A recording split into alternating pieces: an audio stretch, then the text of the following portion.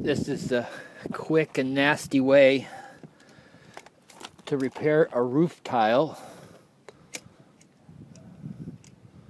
Somebody's already done it once with some um, mortar.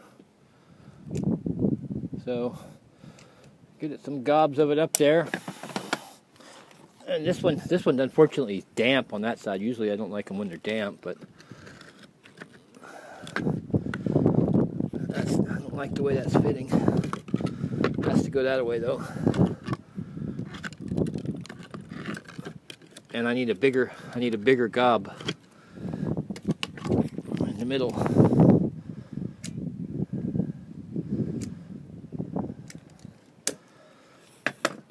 I mean, it's it's as good as anything. If, especially if the joint is above there.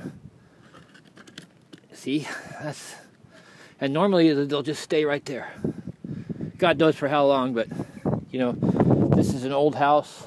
It's an old village hall, and I'm not doing any cheap maintenance, but I got another one to do right there. So I'll just do the same thing. That one's nice and clean. Three quarters of the of the of the tile is still there, so that'll slide right back up in there and be good as new. Then I'm just finishing cleaning the gutters, which were packed. And this one is the gutter to nowhere. Got this catching this, but so we want to get a pipe and run a pipe over over to there some point. It's all been mucking up here in this corner here. So I've cleaned all that up now and cleaned out a little valley there along for it to go, but it's winter time now. I don't want to take up any more really until we decide what to repair it because all the gravel's gone here too. So that's it for now. Well, that's the quick and nasty way to fix a roof tile. Thanks for watching.